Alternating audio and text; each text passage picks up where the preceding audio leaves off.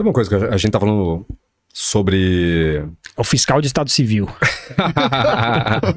Sommelier, tá né? Sommelier de Estado Civil. Cara, olha só, olha só que engraçado, velho, que me veio uma reflexão agora. E eu falei isso com o Morim também um pouco antes aí. Sobre o perfil de homens que querem constituir família. Que eu acho que é super válido, é legal, pô, o cara quer ter filho, e o caralho é quatro, e ele vai ter que trafegar por, por aquilo tudo para saber filtrar o que, que seria uma boa mulher, e não só uma boa mulher para ele, mas também uma boa mãe para os filhos dele, que vai absorver os valores dele, vai passar isso para criança. E vocês me corrijam se eu estiver errado, tá?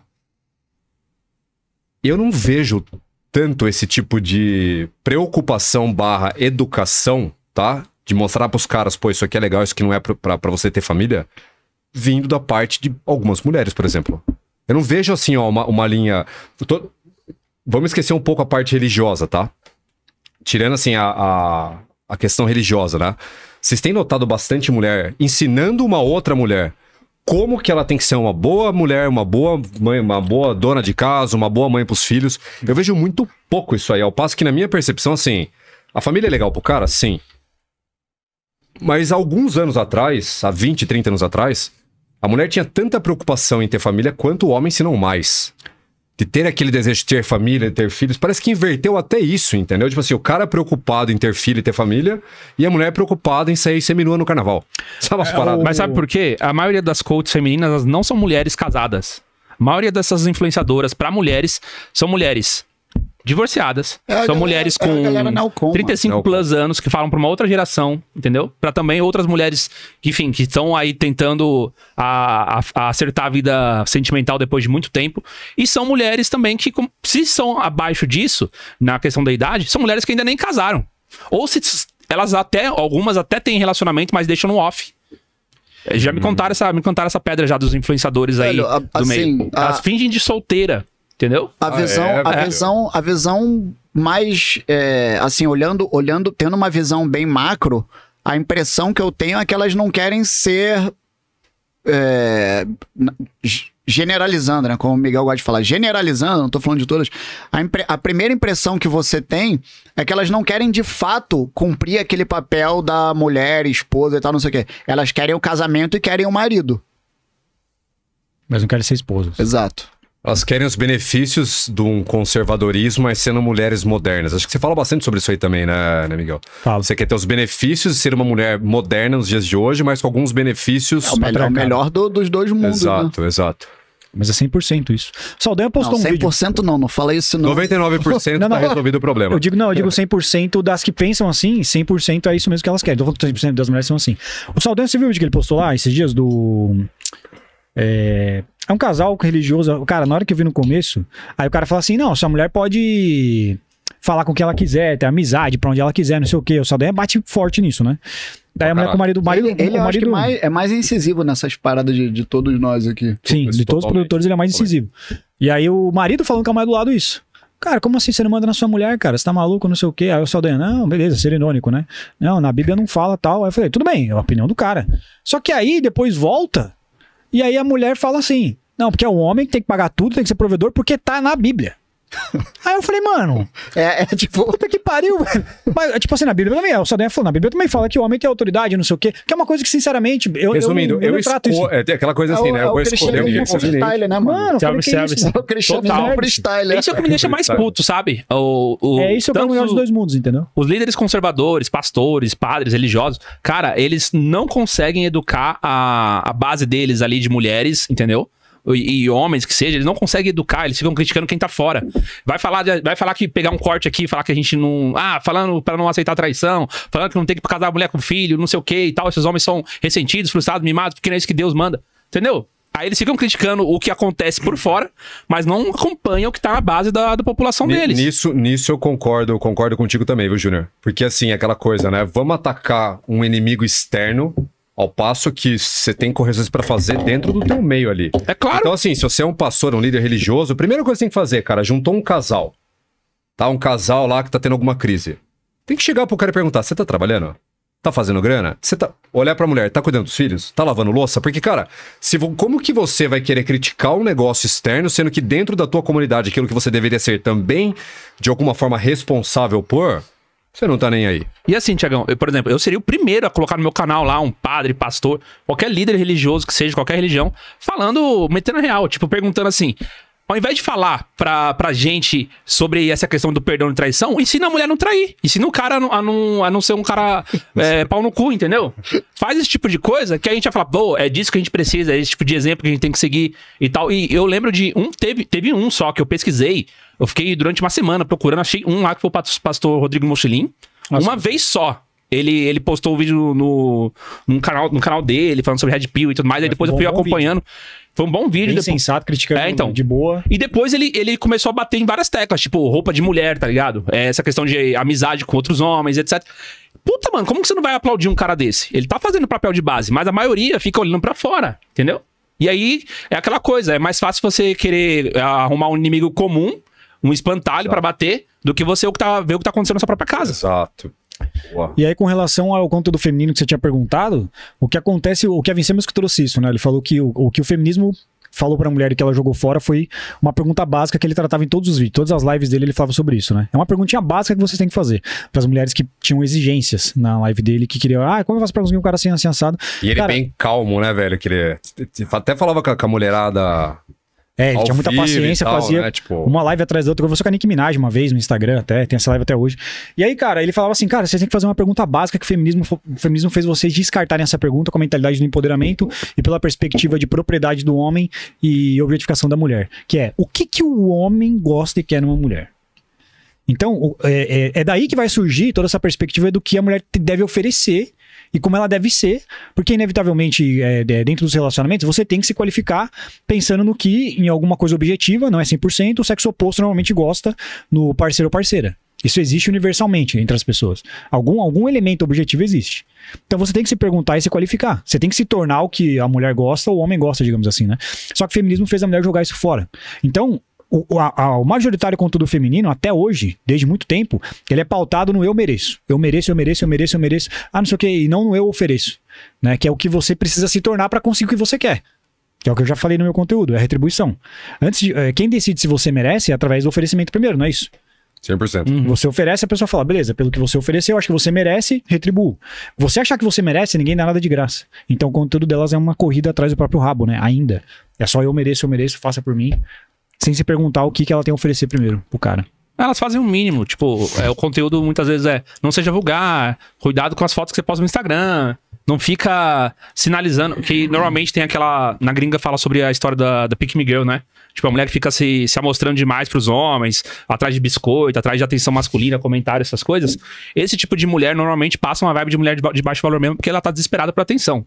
E é o tipo de mulher que os homens já, já sacaram isso mesmo, e as próprias mulheres já estão falando, ó, é, esse tipo de mulher certamente vai ser descartada tipo, por um cara de alto valor. Um homem não vai nem. Ele vai ficar e etc. Mas observou esse tipo de comportamento, ele vai nem questionar. Ele vai dar as costas e ir embora. E você não vai ficar sem entender nada. Então existe esse tipo de, esse tipo de discurso, mas é muito suave. Bem suave é, a respeito do que é, uma mulher realmente deve entregar no relacionamento. Porque o homem entrega pra caralho. A gente sabe disso. Mas o problema. Então, mas aí a gente volta naquele ponto que, inclusive. Eu falei isso, comentei lá no, com, com o Vilela, que. E, e, amarrando com o que você falou da questão de, de misoginia, que, velho, tipo. Beleza, a mulher procura o que de um homem? A mulher quer um homem com uma estética X, preferência. Prefere um cara alto, Sim. boa pinta, provedor, é, protetor. Quais são os três P's? Agora até esqueci. É provedor, protetor. Parceiro. É isso, parceiro? Não, tem, é, tem outro, é, provedor, provedor presente. Qual é presente? É consciência. Com pinto, pinto. E aí, beleza, a mulherada, é, o, o, que é completamente razoável. As mulheres majoritariamente é, é, é, colocarem isso como, não vou dizer pré-requisito, porque aí fica muito, o, o, a régua sobe muito. Mas assim, como uma preferência. Beleza, razoável, nada demais. Aí, quando é vez do homem dizer o que, que ele prefere, não, é que assim, a nota de corte vai ser assim, não. O que, que você prefere? Ah, a gente prefere isso, isso, isso. Não, meu querido, isso é misoginia. Você está diminuindo as outras mulheres. Tipo, mano, tá cheira minha virilha suada, tá ligado? E, e ainda mais dentro de um contexto no qual a gente enxerga a possibilidade disso ser enxergado como. Você falar sobre isso, isso ser crime, mano. Aí fudeu, tá ligado? É, teve uma. Na reportagem fatídica lá que o Thiagão sofreu lá na, naquele dia da Fantástico, teve uma frase que o Thiago falou, foi lá no Redcast. Que fantástico, e... mano. Não, mano, não sei de nada, não. Teve uma frase que ele foi parar lá no Fantástico que o pessoal você, tava você achando um absurdo. Você foi o contemplado, meu filho. contemplado. A galera, eu, eu sempre falei, a galera tava esperando, mano, algum é, inimigo botar total. a cabeça pra fora Era ali, uma ó. pisada fora do quadrado pra vir o ferro. É igual um galpão. Mas você ajudou também, né? Enfim. foda. Você ajudou. foda. Eu ia falar que é aquela frase, tipo, uma das infelicidades da mulher hoje é que ela não sabe servir. Cara, Aonde que essa frase é absurda? E tipo, ah, é, e, tava lá no quadro, mano, as pessoas falando, nossa, que machista, meu Deus, misoginia e tal. Eu acho que foi Cara, no Redcast, ou foi no primeiro nosso, né? Ou foi no, sei lá, foi um dos dois lá. A né, mulher é mais feliz servindo o homem, né? Alguma coisa assim. Mas o homem serve a mulher e a mulher serve é o homem. Questão, é uma, porque é o homem é, padrão, é, é dentro, dentro de um relacionamento saudável, um deve servir o outro, né, brother? Tipo, é, o normal é isso. Dentro, da, de dentro Deus, das véio. suas medidas e capacidades. Então o mundo tá é, tão enviesado. Isso é reciprocidade, tá né, brother? Que tá achando essa frase um absurdo. Mulher tem que servir o homem, o marido dela, o namorado, né? Elas não sei porque tem, elas ficam ardidas com isso. É, tem ah, que... E o homem também, caralho. Mas você não vê os caras... Tem que ver o lado bom de você servir o outro. Porque se você serve, além de você ser, ser útil, de você ser capaz, de você ter qualidades, e você tá mostrando isso, de agregar no valor da pessoa, é, na vida do casal, cara, você tá demonstrando fundamentalmente que você quer o bem da outra pessoa tanto quanto você quer o seu próprio bem. Mas então, isso é que é, inclusive isso que em tese seria amor incondicional, né, velho? Exatamente. Eu quero o bem daquela outra pessoa. Eu não vou me esforçar, eu não vou fazer algo que ela precisa. Eu vou ficar contabilizando os mínimos detalhes, quem tá fazendo mais, quem investe mais, quem se dedica mais. Ah, ah se ele não assim. fizer isso por mim, eu não faço, entendeu? E assim, se a mulher ficar só pedindo, só pedindo, só pedindo, ela vai se afundar no egoísmo. Inclusive, ó, pra, para as coaches aí de mulherada já pode criar um infoproduto novo, faz uma planilhinha de Excel, sei lá, um para fazer esse esquema aí, tá ligado? Olha, se ele não fez isso, você não vai fazer tal. Condicional. Ah, elas já fazem, né, velho? É só ficar sem dar. Entre fazer uma greve. coisas, enfim. O, Bruno foi até foi até leve demais, cara. Se fosse falar o que, o que, o que na minha visão tinha que ter nessa planilha, né, consciência? Segunda-feira, dia de lavar louça, lavar roupa. Sabe, eu, uma vez eu falei isso aí, eu, uma vez eu falei uma coisa, cara, que eu, que eu tenho visto mais como tendência realmente, né? É... O que que eu tenho notado, tá? Eu não sei se vocês recebem isso pra caralho e tal. Pô, cara, eu canso de receber mensagem, tipo DM, às vezes na página, no comentário, de mulher falando que não tem homem, ou cadê os homens de valor, o que que eu faço pra, pra achar. Mas eu nunca vi uma mulher perguntando assim, ó, como que eu me qualifico para um cara de valor? E vai cair aquilo que o Bruno falou e que o Miguel falou, falou também. É sempre assim, ó, como que esse cara cai no meu colo? E não o que, que eu tenho que fazer para estar do lado desse cara. Porque na minha visão, assim, gente, ó, um cara que tem um certo destaque financeiro barra social, a gente sabe que ele tem uma quantidade absurda de mulheres no pé dele. E que, velho, ele vai. Se ele escolher ser monogâmico, escolher estar tá com uma, única mulher, ele vai filtrar a cereja do bolo ali, aquela mulher que é melhor para ele, entendeu? Então acho que a mulherada ainda tem muito essa ideia de que, olha, eu preciso trabalhar para ter o meu dinheiro, eu preciso trabalhar para servir meu chefe, mas eu não preciso trabalhar para ter o cara que eu quero, eu não preciso trabalhar para servir meu cara, entendeu? É que, na verdade, muitas vezes o que acontece é que a questão das mulheres, né, hoje em dia, elas se casam com mais de 30 anos. É justamente para conseguir o cara que elas querem, na verdade. para conseguir esse, esse destaque, né? Independência, para que ela possa justamente escolher o cara de, de preferência e não o que sobrar, digamos assim. O cara que ela realmente queria. Sacou? Só que muitas vezes. São, são Sobra, né? é, só, Sobra, que, né? só que é o que eu falo. Muitas vezes essa é uma perspectiva feminista da coisa que volta naquilo que eu disse. Tá, mas o que o homem quer? Daí a gente entra na teoria do VSM, em grande medida nesse caso. Né, do que vai acontecer nesse processo de independência feminina e a mentalidade que ela vai adotar e o que ela tá fazendo para também conseguir esse cara, né? Tá, beleza, mas o que você tá fazendo é pensando no homem que você quer, mas você pensou nesse cara que você quer. O que que ele quer? Será que, que, ele quer de você? Será que ele tá fazendo isso? Então, é, o que acontece é que muitas mulheres vão encalhar por causa disso, estão encalhando por causa disso, por causa dessa mentalidade feminista, que o feminismo ele meio que não tem fronteiras, não tem autocrítica, não tem crítica muitas vezes, não tem, né, no sentido de Uh, não tem um contraponto. Não tem um contraponto, é mais, é mais moderno isso. Então ele passou livre. E aí as mulheres foram de braçada, acreditaram 100% e estão colhendo agora essa consequência de chegar lá na frente com uns 30 e agora, preciso casar, cadê o cara? É, os caras que ela quer não querem ela, normalmente vão fazer ela só de buricol, de tipo, uma uhum. noite nada mais, bola de terça.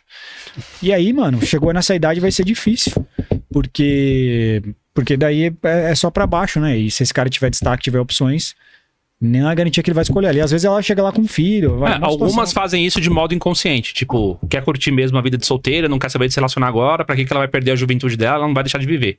É inconsciente. Aí depois ela, ah, agora eu quero casar. Ah, mas algumas fazem isso de modo consciente, planejado. Tipo, a mulher ela vai entrar na faculdade porque ela sabe que depois da faculdade ela ganha, uma, ela ganha mais, ela trabalha num lugar bacana e assim ela consegue ter contato com pessoas que são de um nível superior maior. Isso é muito claro se você analisar a carreira de advogado, por exemplo, na advocacia, juiz, etc. Muitas mulheres vão lá, elas passam na faculdade, passam na OAB, passam no concurso, no concurso e depois saem do, do, do, concurso. Por quê? Porque elas casaram com alguém de nível semelhante. Mas você sabe o que o MC nos falava sobre isso, para essas mulheres? Ele falava, cara, vocês estão perdendo a principal janela de possibilidade de vocês. Que é a faculdade. Que é a faculdade de socialização. Ele falava isso, que é um fato. Agora é mais difícil. Porque normalmente as pessoas vão conhecer casais, etc., em amigos em comum, que é o mais ideal. E normalmente vai ser um ambiente de ensino médio, vai ser de faculdade, talvez em trabalho, muitas Seria vezes. Seria o ideal. Né? Que é o ideal, que é o que acontece. Quando você faz amigo, eu tenho certeza que a maioria dos amigos que você leva. Assim, né? A maioria dos amigos que você leva para a vida vem desse contexto. Né? Inclusive, Não, que, é, uma, é uma visão hoje... totalmente errada das mulheres, porque até Entendeu? porque se... E aí você passou a faculdade, onde você vai socializar? Onde que você vai nutrir para conhecer? Você vai ter que conhecer, você vai, entendeu? Aí vai pro Tinder. Ah, mas aí lá é... aí já sabe, né?